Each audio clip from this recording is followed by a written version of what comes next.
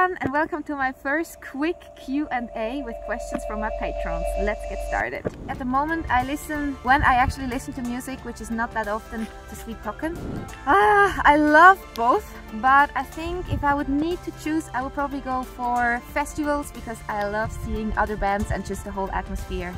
Winter! Oh my god, I'm so excited. It's beginning of April and there is actually snow lying here in Zurich. I was very happy when I woke up. I think I will go for probably Jonas because I mean posing with a guitar, uh, having the long hair and then playing some solos I think that would be quite an experience.